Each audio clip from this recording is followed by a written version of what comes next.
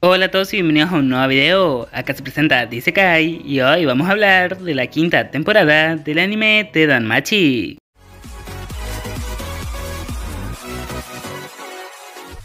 Así como lo oyeron en la presentación, el día de hoy vamos a hablar de Danmachi, pues durante el evento especial por el décimo aniversario de la franquicia, se anunció la producción de una quinta temporada del anime. Dicho comunicado incluyó un video promocional especial pero lamentablemente aún no reveló los detalles de producción ni una fecha de estreno programada.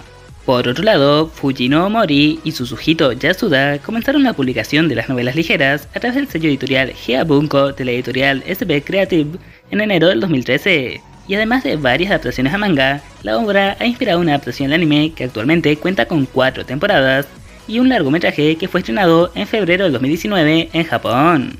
Y si bien puede sonar un poco ridículo, ya que al ser un video acerca de una quinta temporada, seguramente todos los que están viendo ya saben de qué trata el anime, quizás alguna minoría no lo conozca. Y como es costumbre en el canal, igual lo haré y les narraré una breve sinopsis. La vida en la bulliciosa ciudad de Horario nunca es aburrida, especialmente para Belcranel, un joven ingenuo que espera convertirse en el mayor aventurero de la Tierra. Tras un encuentro fortuito con la solitaria diosa Estia, sus sueños se acercan un poco más a la realidad. Con su apoyo, Bell se embarca en una búsqueda fantástica mientras se aventura en las profundidades de las catacumbas llenas de monstruos de la ciudad, conocidas solo como la mazmorra. La muerte acecha en cada esquina de las cavernosas profundidades de este terrorífico laberinto, y un misterioso poder se mueve entre las sombras. Incluso en la superficie, la supervivencia es un privilegio ganado a pulso.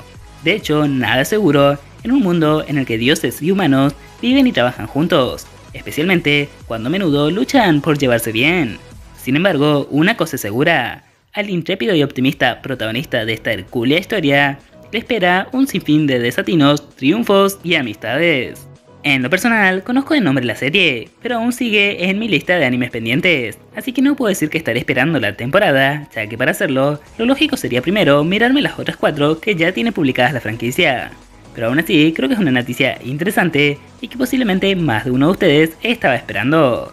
Por lo que espero que les haya gustado y que me dejen en los comentarios si me estoy perdiendo de algo muy bueno o no tanto al no mirarme Darmachi aún. Pues ya saben que yo lo estaré leyendo y contestando. Y ya saben, lo que también le dicen todos los demás youtubers. Si les gustó el video, les agradecería que se suscriban y le den a like. Mientras que si quieren apoyarme aún más, les invito a comentar algo sobre el mismo ya que esta forma YouTube nos recomendará más y podremos crear una gran y bonita comunidad rápidamente.